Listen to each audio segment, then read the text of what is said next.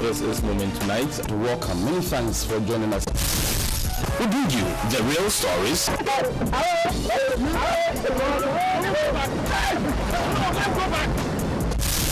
Abdallah, Abdallah, have you put pepper in the tea? My environment. I'm rich. I've chosen to be in one of the very shallow pits. They also do have miscreants, but it doesn't mean that all of them are criminals. We do not have a good geo database of our mineral resources.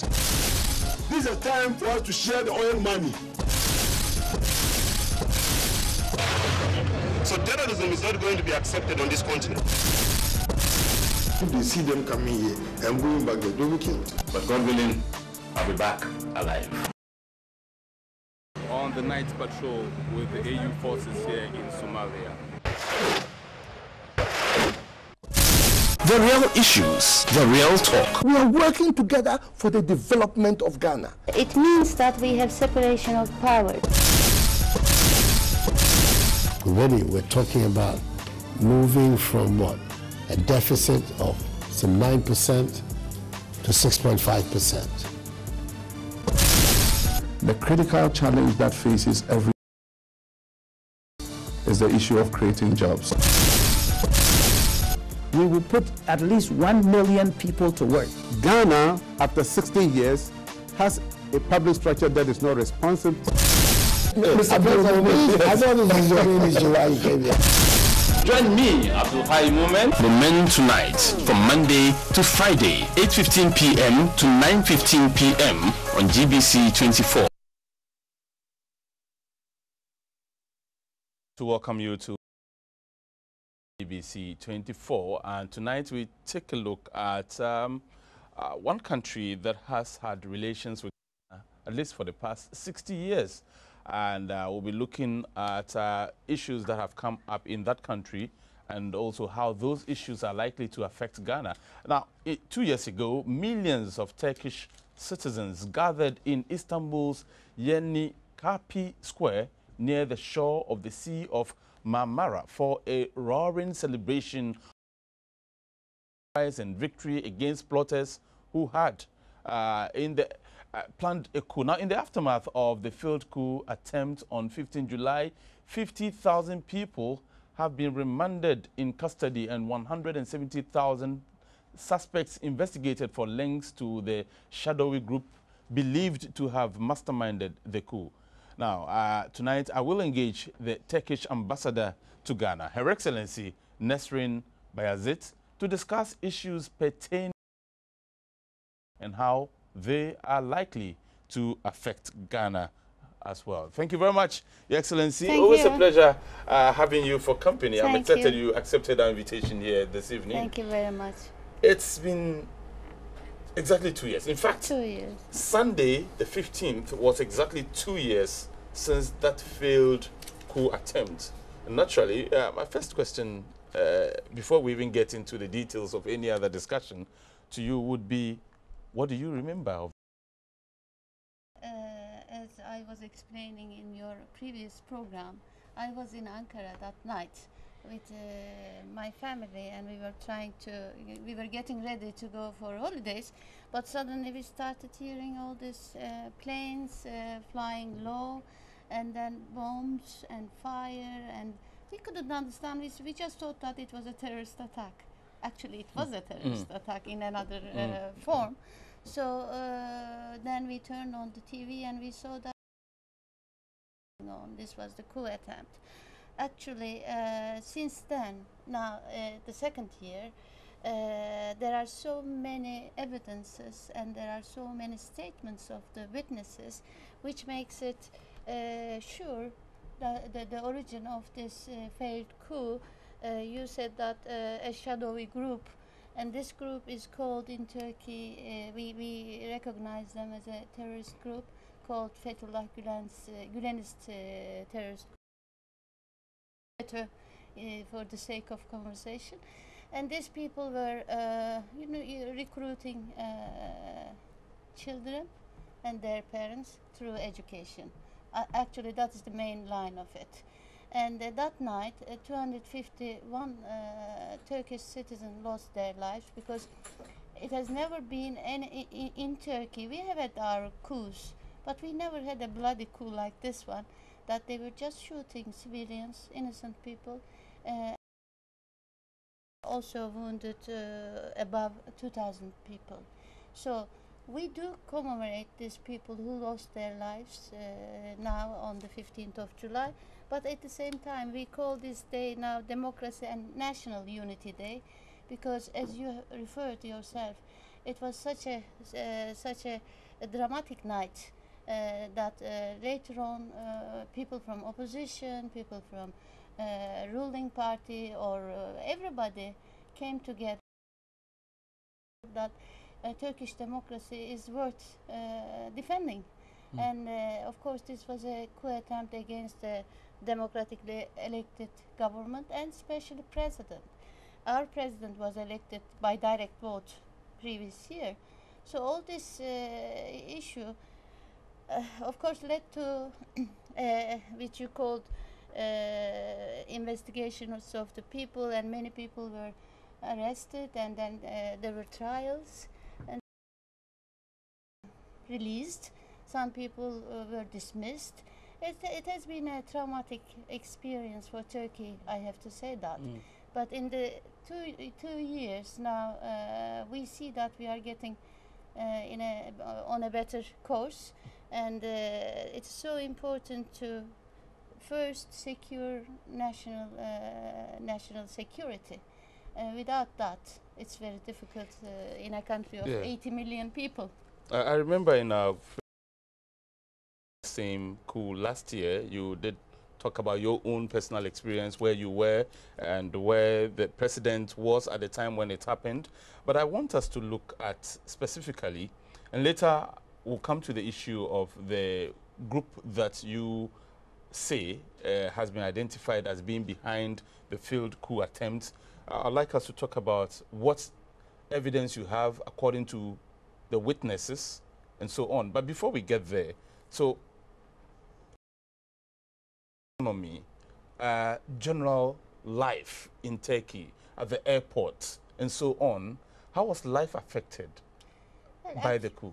Uh, the, the, coup attempt, of course, uh, suddenly, you know, when uh, such a thing happens in a country, that you have your in foreign investors and the situation of your own domestic economy, and also all those people who were sacked uh, from the, state offices. Offices. Uh, it, it is it's a difficult experience to put every back, everything back to normal. So that's what we experienced. Mm. Uh, economy did didn't do as bad as it was predicted. Actually, uh, we have uh, the, one of the highest level of uh, growth uh, in Europe among the European countries, and uh, many schools were closed because they belong to this uh, organization. And uh, somehow even the foreign students they were affected because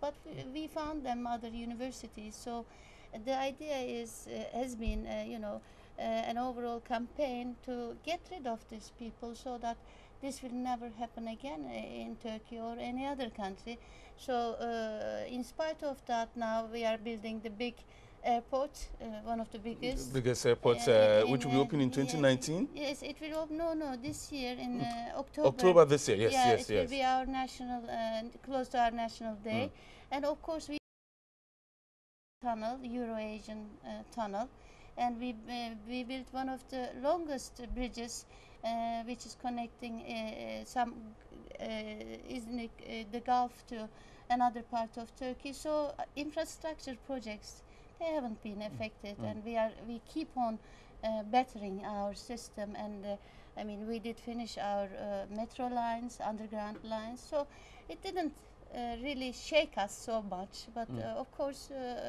there were some persons, their jobs, many things happened, but it was on the evidence and uh, everything, every action taken was really based on the.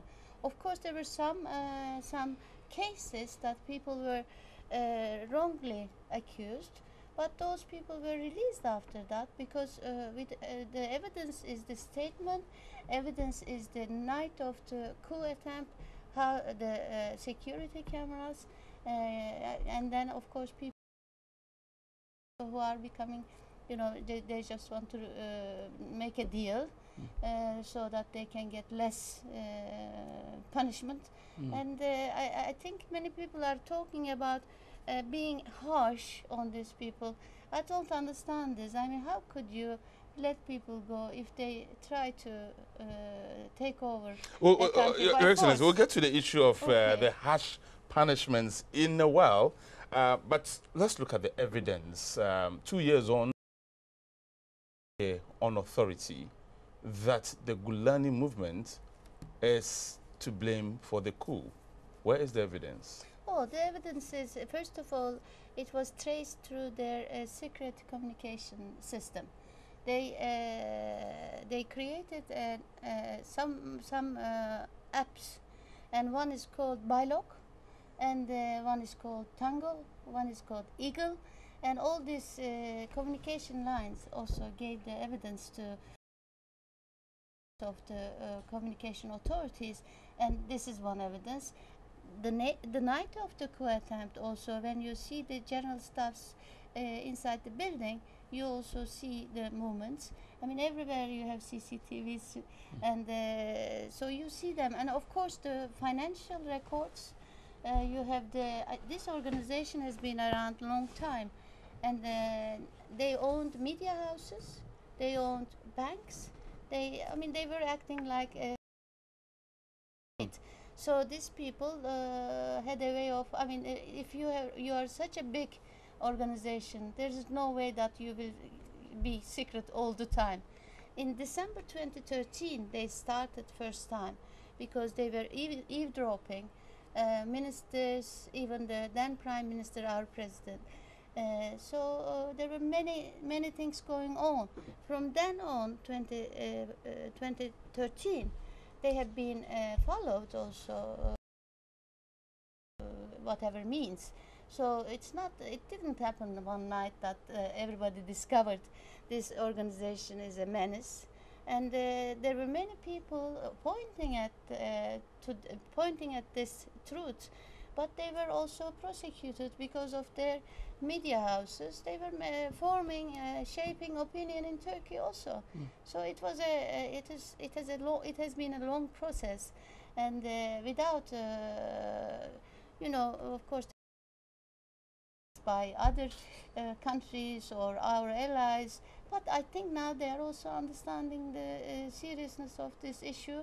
That's why we see uh, over 100 of these people who uh, went abroad now brought back to Turkey. Two years ago, when this happened and uh, debate raged on and on as to what could have caused uh, some persons to attempt a coup d'etat in Turkey and so on, one of the arguments that came out strongly was the fact that the Turkish but in actual fact isn't democratic, and evidence that is seen as argued by your critics, the critics of your government, is that you don't even allow media freedom. That could have been one of the instigators of this attempted failed coup d'etat. You agree? Uh, of course, I don't agree, and this is not uh, a very solid argument because uh, you had journalists who, who, who were uh, prosecuted or who were put into prison. Uh, the reason was not uh, doing their job and reporting. The reason is because we have some uh, laws, restrictive laws on terrorism.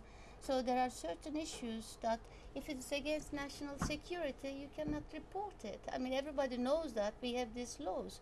And after that, of course, uh, the, after the coup attempt, very shortly, we, uh, there was a declaration of state of emergency. It's, it's emergency. So uh, normally, I, I wouldn't uh, call uh, undemocratic Turkey, but of course, uh, there are times that you have to restrict certain things, and this was one of the times. And I'm happy to uh, tell you here that uh, on the 18th, this state of emergency will be removed now. So it also shows you that Uh, we are 18th of July? 18th of July. Or a year, uh, two years after. Almost, Two years and two days. More or less. Okay. But, but because uh, it was a process, legal process, you had to get to Mm. the state of emergency. I think it was a, a month or two later than the coup attempt. You have told us uh, that some of those who were investigated and found not guilty were released. But we also know that when people are accused of crimes, there's a certain stigma that comes with them, even when they are later found not to be guilty.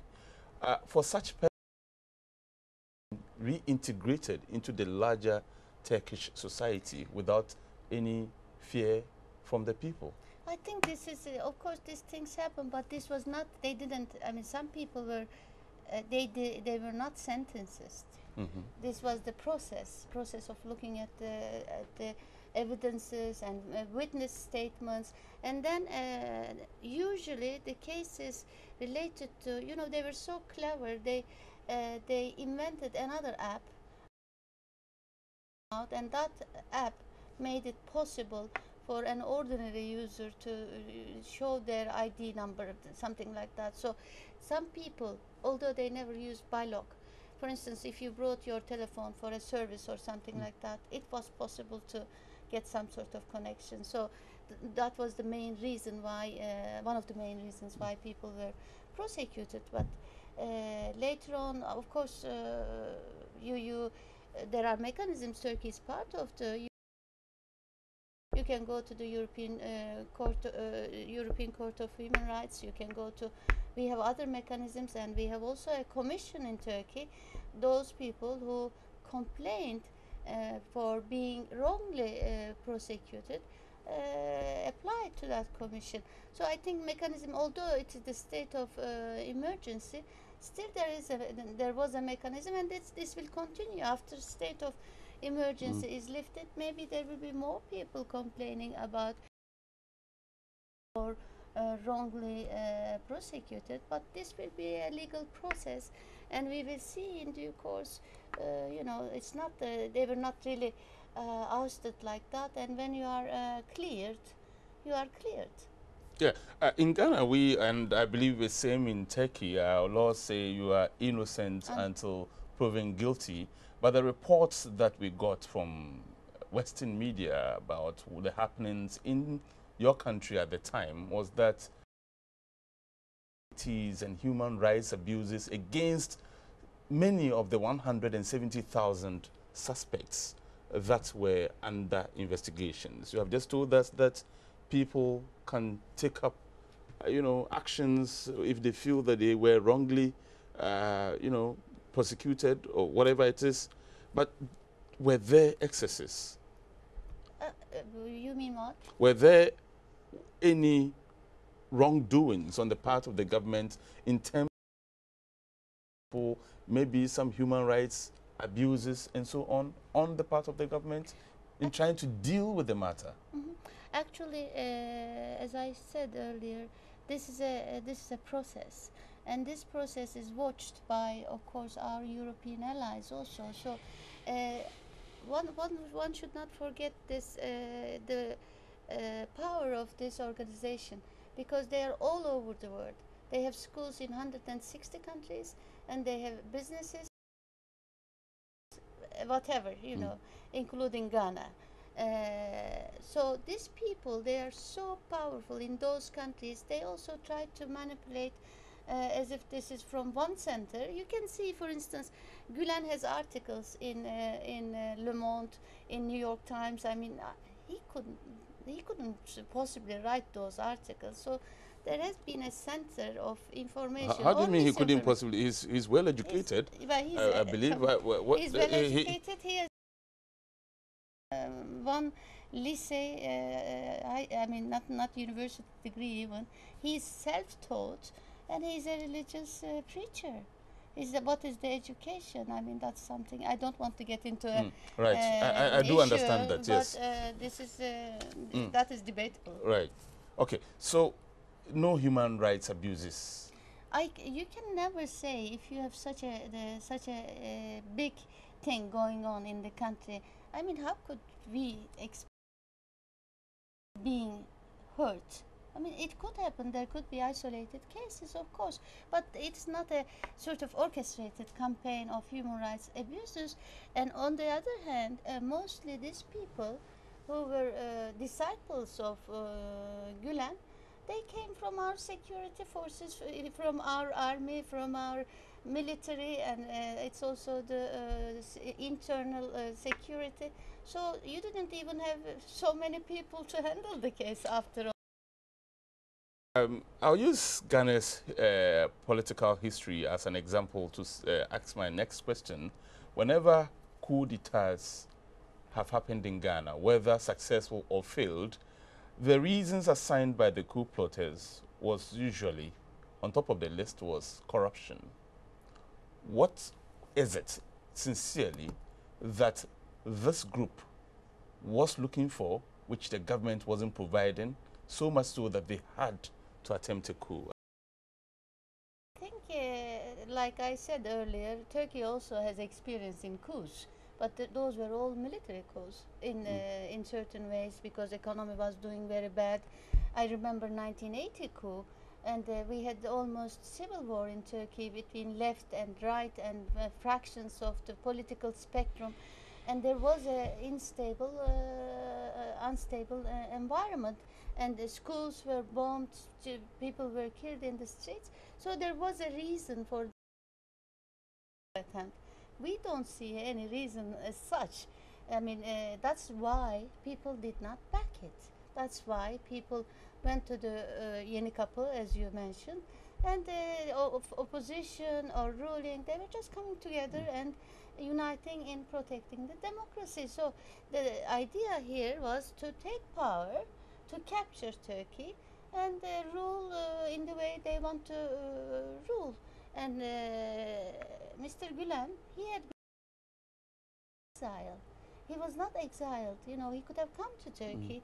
Actually, there were many calls from the ruling party asking him to come back and serve in the country and things like that. But it is just uh, a matter of because first uh, they they put this uh, in, uh, indoctrination in the minds of people by providing them schooling and money and then uh, jobs. They were uh, exam rigging. I mean, all the state jobs. That's why uh, to go and uh, get uh, they, they should leave the state uh, because there there are evidences. If you look at their exam papers, I mean, they all got hundred, which is not possible. So this is a it was not one one night or 10 years it's it's 40 years stage thing. And of course uh, it has some foreign uh, assistance in the whole issue. Interesting. Um, we'll, we'll get there, but um, Turkey offers opportunities for Ghanaian students to study for master's programs, for PhD programs.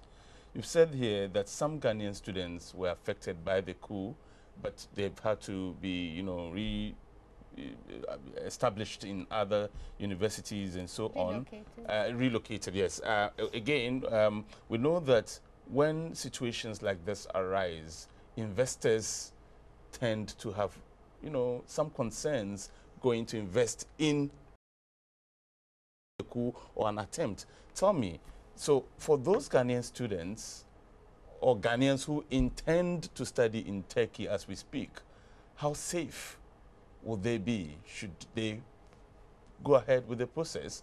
And for any investor from Ghana or from other parts of Africa, how safe will their investments be in Turkey as we speak? well i think uh, this was uh, i mean now after two years we are talking and we have achieved so many projects and we are continuing investing didn't lose uh, foreign direct investment at all uh, of course you will always have one or two people who are concerned more concerned than the others but uh, in the uh, case of the Ghanaian students, for instance, uh, mainly these uh, students were brought by these people to Turkey and they were placed in their universities.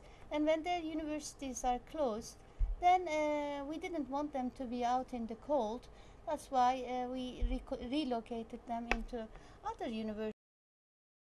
We have a foundation now. It's called a Turkish Maarif Foundation, eh, that means Education Foundation, and now they have been, uh, I, they were established in uh, June 2016. Mm. This was a month before the coup attempt because uh, the schools, um, everything was under investigation before, before the coup attempt.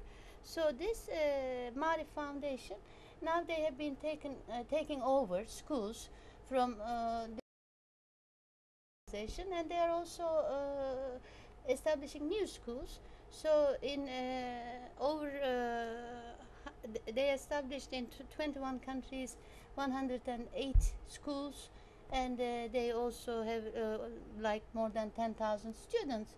And now I'm also happy to tell you that we have a newly appointed uh, representative of the director of the foundation uh, for Ghana.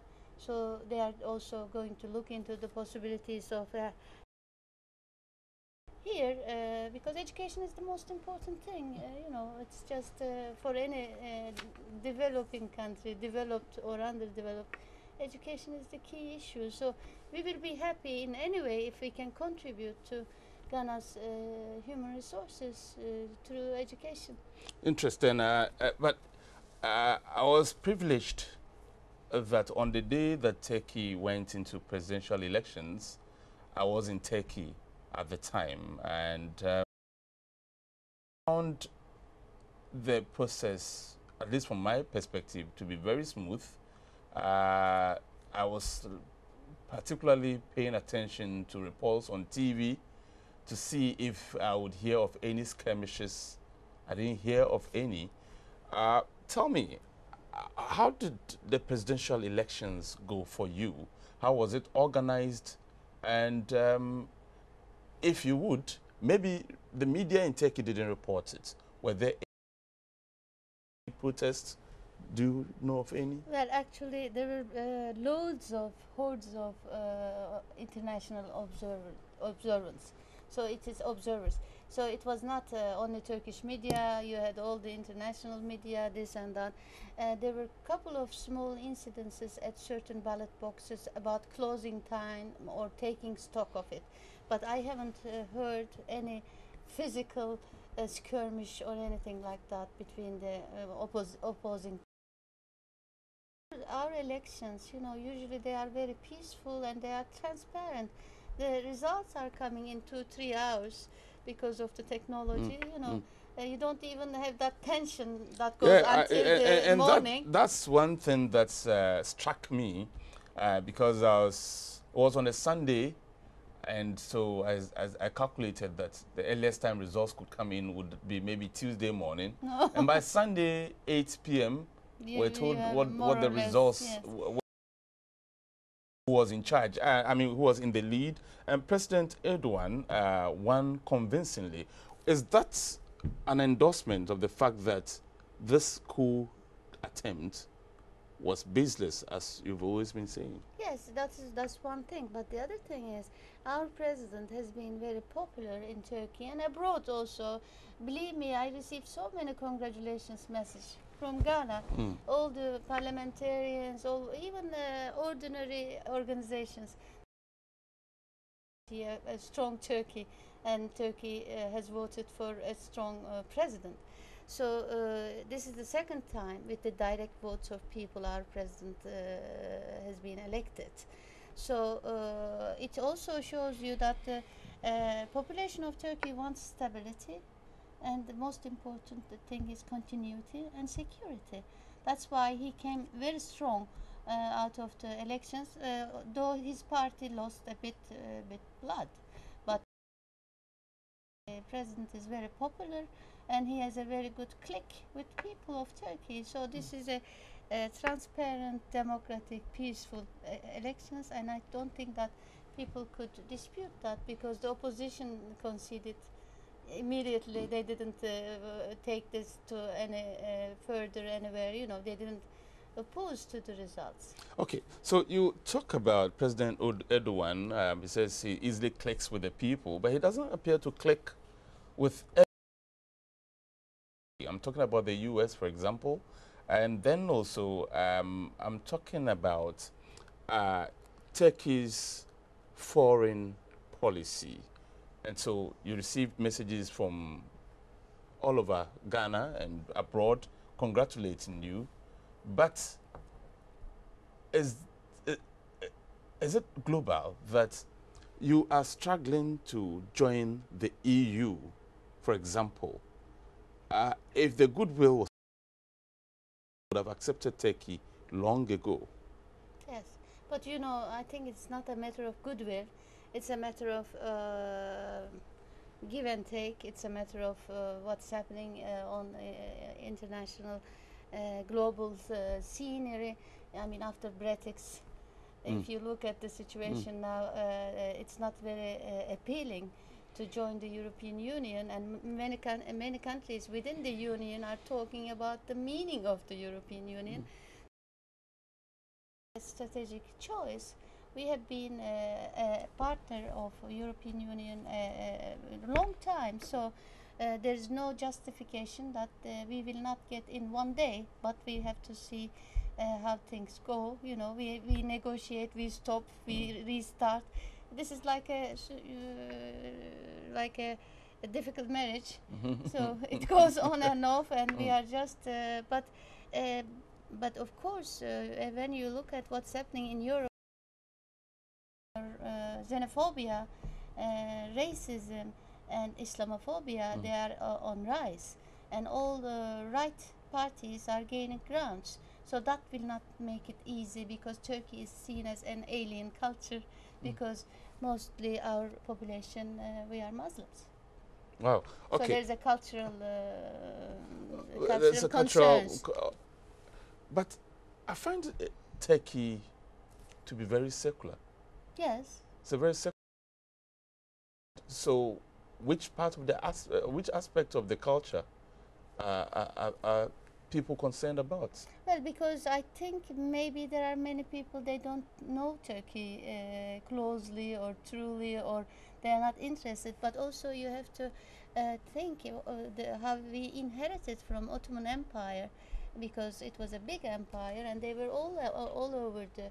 Uh, I mean, in three continents at least, a big empire. So we are, uh, as the inheritors, inherited a lot of issues, and uh, I mean um, predominantly a Muslim population, but a secular. Uh, it's not. Uh, I, I think it's uh, something I am proud of that we achieved what we achieved. I actually today. found one of the biggest churches I've ever seen Hmm. in Turkey. Yes. Um, I've forgotten the name of that square. it's a I- big market square. Uh, I, I can't remember, but uh, it's it's a Catholic church that is there, and, and it's big. And uh, I, I, I person who is very happy living in Turkey, and that's why talking about the cultural differences and difficulties being a result of which uh, is contributing to the difficulty for the EU to accept Turkey. I still find it a bit um, because of my little experience. But let's let's get to how eager you are as a country to still join the EU, following the fact that she's leaving. Yeah. Well, I mean, that's also, we haven't uh, given up. We are not saying that we are not going to join the European Union, but uh, the uh, the scenery is changing. Of course, less people are uh, for joining the European Union. And after all, all these years, since ni- 1963, Turkey has been treated very, uh, how should I put, uh, very uh, impolitely. And I mean, it's a big country with look at the present members of the European Union, some of them, I mean, you cannot even compare them with Turkey. So this is also our size. We are a big country, like we will have the same votes like France, Germany. Well, Britain is not there anymore. So there are issues also with small countries like Austria. I mean, uh, there are issues like uh, with uh, anything, you know, there, there are many things. All this uh, migration or illegal immigration, and Turkey is a, at the cross help Europe to sort out this problem because we are ending up with uh, almost 4 million uh, refugees Refugees, yeah. ourselves. Mm. So it's not easy life, uh, but uh, European Union, Turkey will only bring uh, additional value to the European Union. Mm. We are not going to be burdens on them, but still, as I said, politically, maybe you are not aware of so, so much the European issues, Yeah. but there is there has always been this uh, this this fear because uh, th- they saw first the Ottomans coming into Europe and uh, Ottomans managed to go until uh, Vienna, you know, because all this uh, Istanbul used to be a, a capital of Greek Orthodox. That is the church you are referring to, Mm. probably Saint Sophia Mm. is uh, that one. You know, there are many civilizations uh, they, they lived through uh, in Turkey and around Turkey. So we are. Uh, I mean, we have never been defeated by any other nation. That's another. This time. Mm. Okay. Um, foreign policy. Uh, what's what's what message? what's the key message that Turkey wants to send out to the world and to Ghana in particular? Well, uh, first of all, our uh, found, uh, founding father, Mustafa Kemal Atatürk. Mm. This was the. Uh, this was the his saying. I mean, he showed a target to Turkey, saying that peace. This is the motto of our foreign policy. So to achieve that, we try to help and try to sort out the problems around as much as we can. Especially in Africa, we know that uh, Turkey, this part of Africa, Sub-Sahara, we are a newcomer in this part, but we are hel- helping a lot with development projects. It's not uh, maybe Ghana is not getting as much as Somalia or some other countries. So uh, this is this is one way of putting it, and uh, we are uh, trying to help education, poorer uh, or uh, mo- more uh, uh, needy people to, uh, through some projects. I think that we, what we want to do is we want to have a, a partnership, not just giving and uh, taking, but just uh, being a partners and trying to uh, transfer our experience on because I think uh, Turkey is a good uh, close example to Ghana. I- how we developed fast. Mm. So this could be one of the Mm. I'll come to the Ghana uh, specific related issues, but um, was in 2016, Turkey hosted the World Humanitarian uh, Summit. Um, issues of refugees came up, and indeed, Turkey at the time it came up was uh, hosting some of the most number of uh, refugees in, in, in, in the world. Uh, you have the Nizip refugee camp, yes. which I had the uh, two years ago. M- uh, But tell me, beyond the humanitarian summit and after it, what has Turkey benefited? Oh, well, we uh, really it's not uh, Turkey is not benefiting so much. It's just because you are spending so much money also to for overseas development aid, and uh, Turkey is after USA. Uh, uh, if you compare per capita of income, is country uh, providing aid, and this is uh, this is not uh, only in Africa. We have other projects. Uh, For instance, I will just give you an example. When uh, in Myanmar, when uh, Rohingya Muslims, Turkey was the first country to take up their cause and bring them uh, help, assistance, uh, bring them, uh, you know, also bring this to the international uh, agenda. It's like the Palestinian case.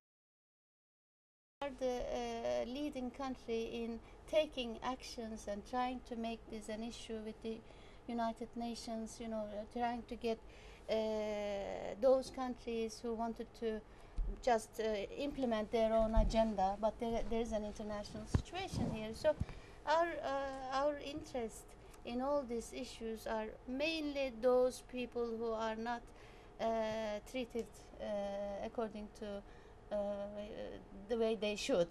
So the side of the weak, we are on the side of the poorer, and we are on, the side of the people who might lose politically. But in being uh, so humanitarian, so to speak, are you not, as a country, also exposing yourself to too much danger?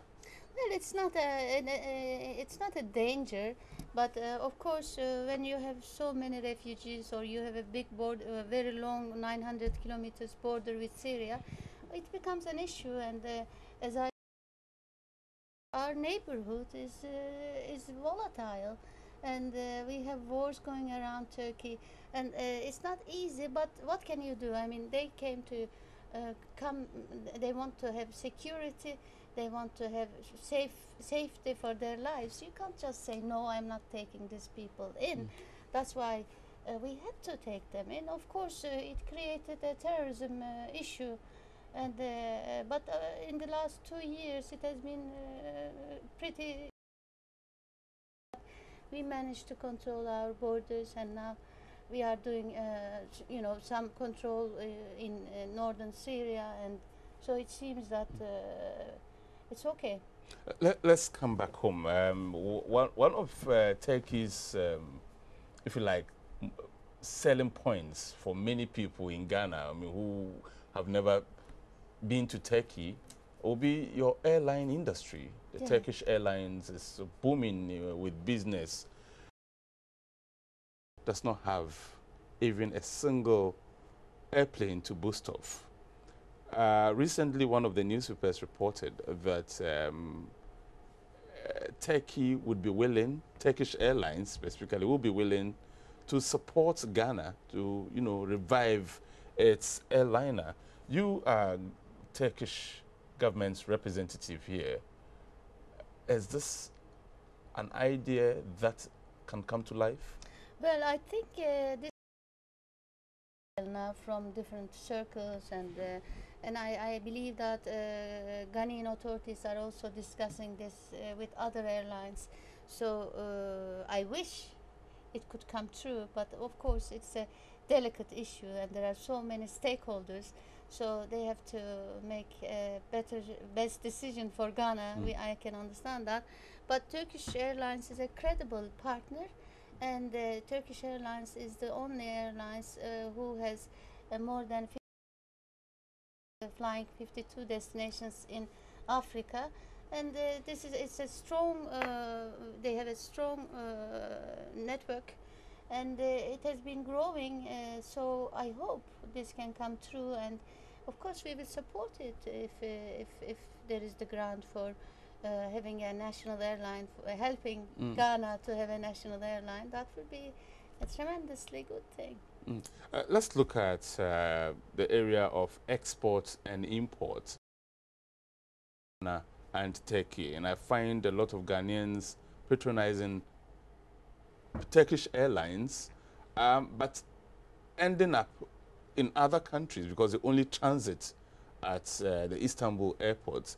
What is it that is that most unique selling point that instead of transiting at Turkish Airlines to go and do business, I mean, at the Turkish airports to go and do business in other countries and then come back through the airport just to get back home, that they end up in Turkey, Ghana, I, I mean, come back to Ghana and so on. What is it? No, I think it's changing though because uh, there are many Ghanaians. Uh, they just go to Turkey, they buy things. I, I'm just talking about the suitcase trade. Mm. They uh, they buy things and they come over here and uh, because the quality of the uh, textiles, especially, is good and uh, competitive prices. So they do that, and I think there are more and more uh, Ghanaians. They discover Turkey. Uh,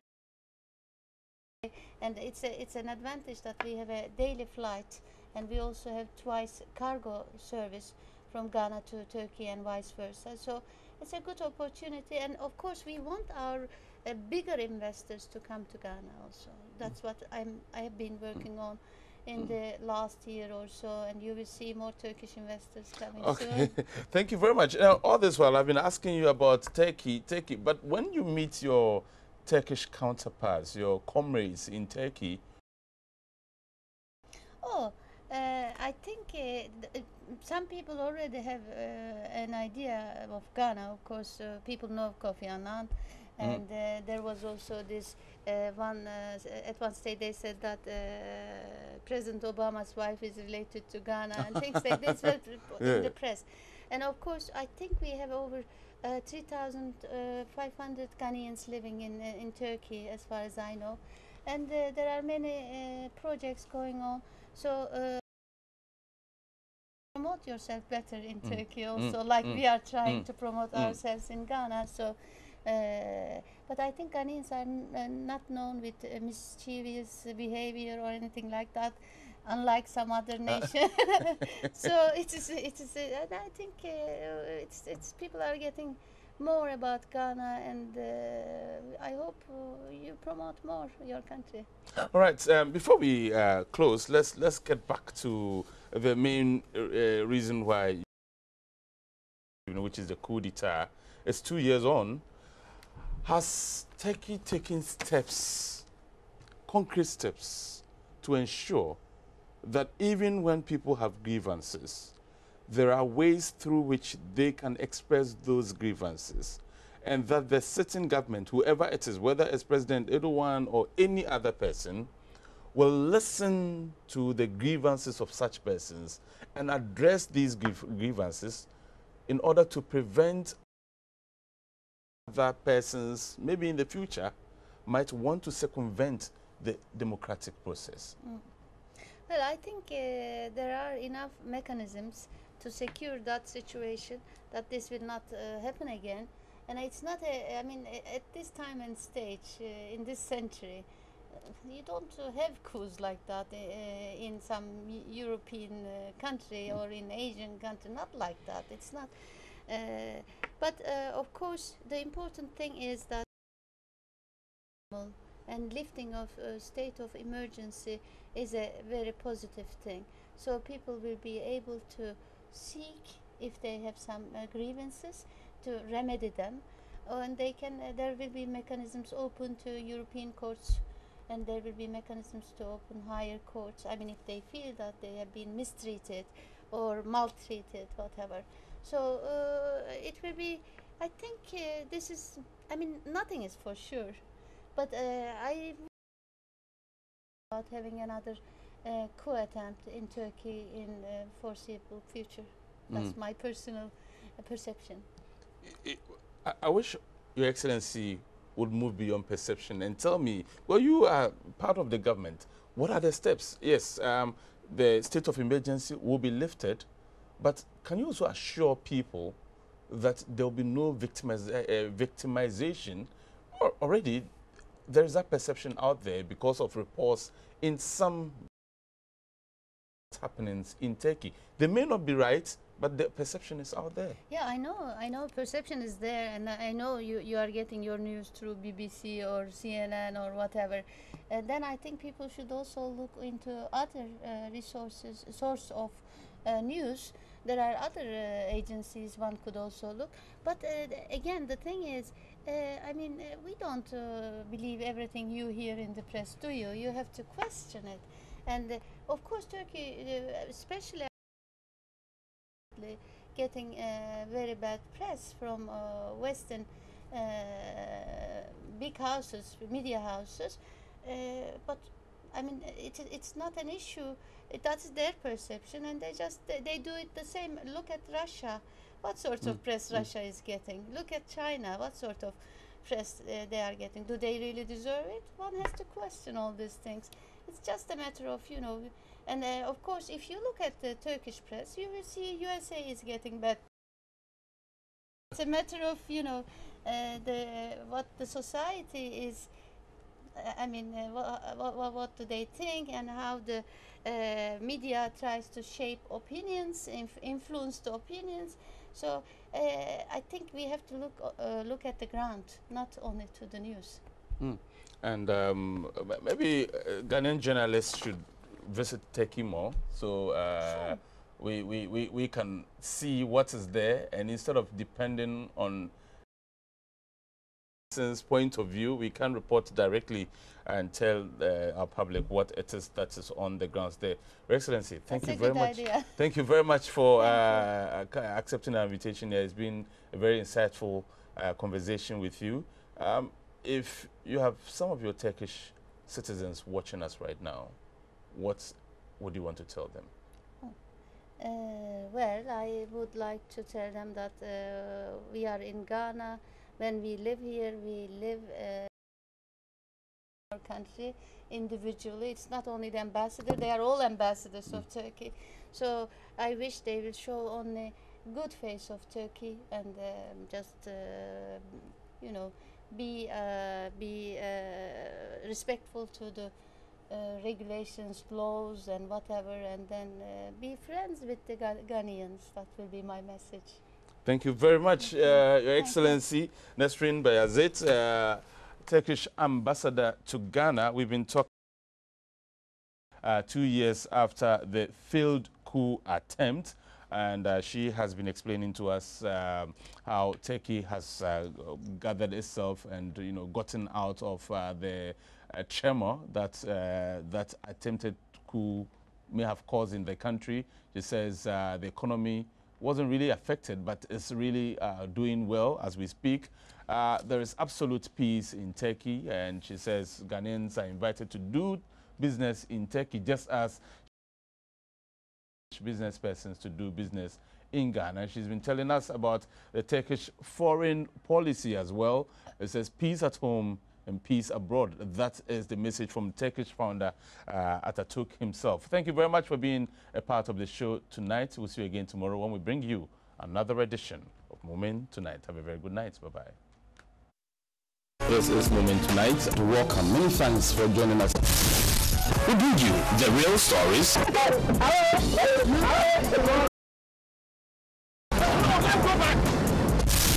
Abdallah, Abdallah, have you put pepper in the tea? My environment alone will tell you that I'm rich. I've chosen to be in one of the very shallow pits. They also do have miscreants, but it doesn't mean that all of them are criminals.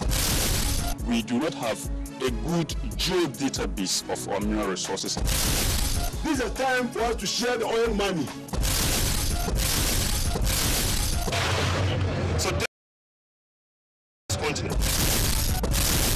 If they see them coming here and going back there, they'll be killed. But God willing, I'll be back alive. We're just about leaving on the night patrol with the AU forces here in Somalia.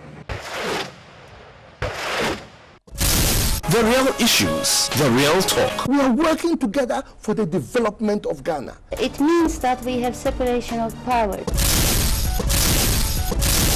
Already we're talking about moving from what?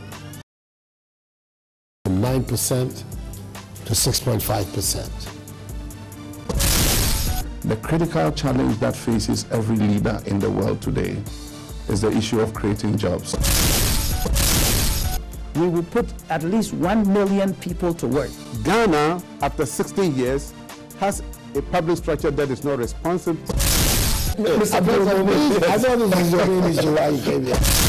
Join me, Abdul Hai Moomen, Moomen Tonight, from Monday to Friday, 9.15 p.m. on GBC 24.